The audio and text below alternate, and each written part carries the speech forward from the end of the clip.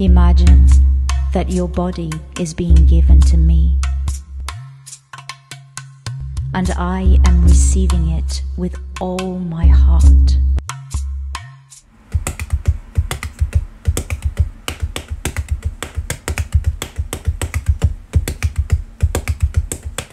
I know there is an incredible future ahead for this country. This One Nation Conservative government has been given a powerful new mandate to get Brexit done. We come back with stories to help others see the wildness.